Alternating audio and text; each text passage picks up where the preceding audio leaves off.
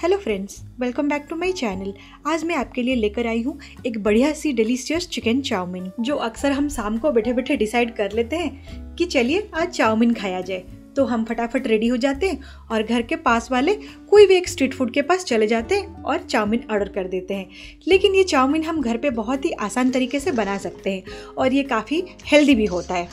सबसे पहले देख लेते हैं हमें क्या क्या चाहिए एक परफेक्ट चिकन चाउमीन बनाने के लिए। किसी भी तरीके के चाउमीन बनाने के लिए हमें सबसे पहले नूडल्स चाहिए। सेकेंड मोस्ट इम्पोर्टेंट है चाउमीन मसाला नेक्स्ट है डिफरेंट टाइप के सॉसेस देन चिकन और डिफरेंट टाइप के वेजिस और स्क्रैम्बल्ड एग तो चलिए चाउमीन बनाना शुरू करते हैं। मैंने यहाँ पे हाफ़ के जी बोनलेस चिकन लिया है और इसको छोटे छोटे पीसेस में कट किया है। ये देखिए, ऐसे पीसेस होने चाहिए। उसमें हम डालेंगे one spoon red chilli powder आधा spoon black pepper powder one spoon salt one spoon ginger garlic paste और आधा लेमन को स्क्वीज करके लेंगे। अब मिक्स कर देंगे सारी चीज़ों को। अच्छे से उसको मिक्स करने के बाद उसे हम ढक के आधा घंटे के लिए मैरिनेट करेंगे।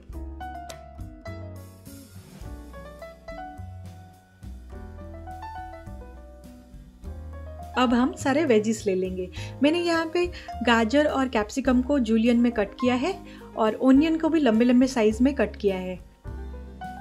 कैबेज को भी बहुत पतले पतले साइज़ में कट किया है और गार्लिक को चॉप करके लिया है।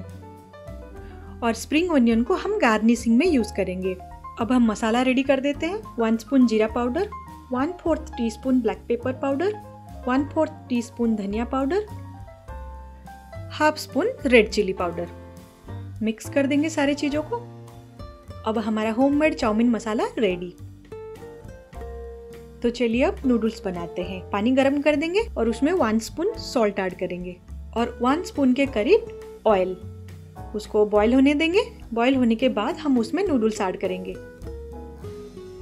नूडल्स आप ऐसे भी डाल सकते हैं। या फिर तोड़ के भी डाल सकते हैं।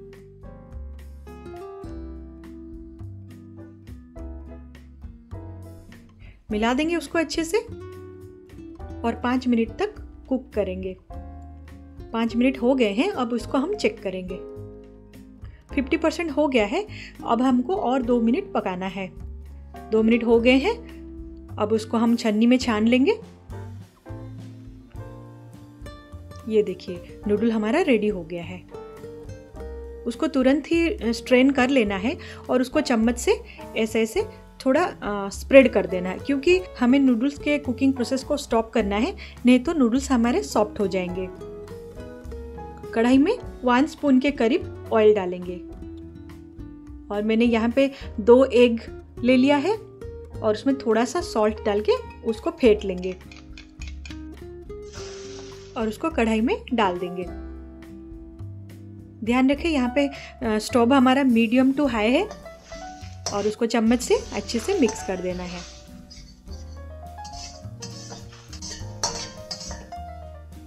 ये देखिए स्क्रम्बल्ड एग हमारा रेडी है। अब उसको हम एक प्लेट में निकाल देंगे।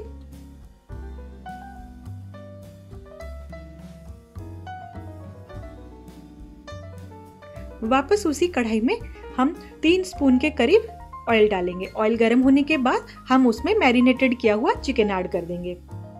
अभी चिकन को हमें हाई हीट पे भुनना है। एक से दो मिनट अच्छे से भुनने के बाद गैस को हम मीडियम कर देंगे और सेवन टू एट मिनट के लिए चिकन पूरा पकने तक उसको हम भुनेंगे।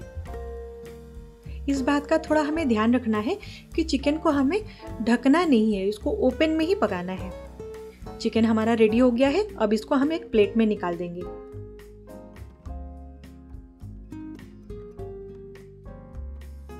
वापस उसी कढ़ाई में हम टू स्पून के करीब ऑयल डालेंगे और उसमें चॉप किया हुआ गार्लिक ऐड कर देंगे। थोड़ा सा सोटे होने के बाद उसमें हम ओनियन ऐड करेंगे। इसको हमें बार बार मिक्स करना है, क्योंकि हाँ गैस हमारा हाई हीट पे है। फिर उसमें हम गाजर ऐड कर देंगे।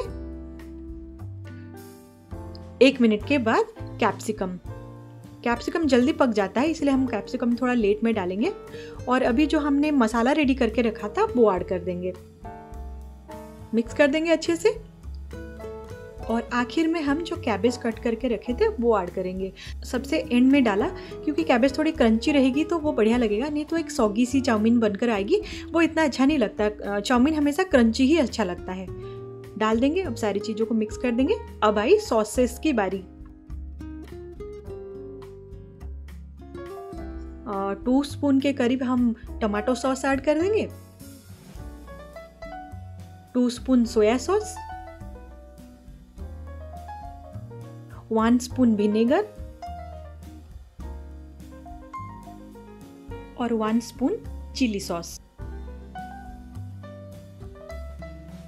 mix कर देंगे सारी चीज़ों को। ध्यान रखिए, गैस हमारे एकदम हाई हीट पे है। और थोड़ा सा सॉल्ट ऐड करेंगे। वेजिस के हिसाब से हम थोड़ा सॉल्ट डालेंगे। अब हम नूडल्स ऐड करेंगे।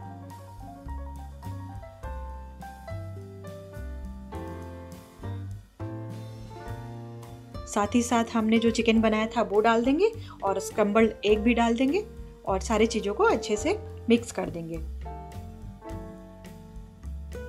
जैसे सारे मसाले नूडल्स और चिकन में आ जाए। मिक्स कर देंगे अच्छे से। देखिए, मस्त सा चिकन चाउमीन हमारा बनकर रेडी है। और ऊपर से गार्निशिंग करने के लिए हम थोड़ा सा स्प्रिंग ओनियन डाल देंगे। आ हा हा क्या मस्त सा स्मेल आ रहा है। दोस्तों, मेरे मुँह में पानी आ रहा है। तो चलिए इसको जल्दी जल्दी सर्व करते हैं और खाते हैं। एक प्लेट में उसको निकाल देंगे।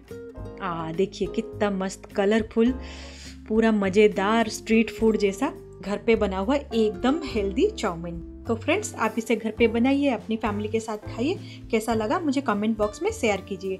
अगर आपको मेरी रेसिपी अच्छी लगी तो मेरे चैनल को लाइक शेयर सब्सक्राइब ज़रूर कीजिए। Thank you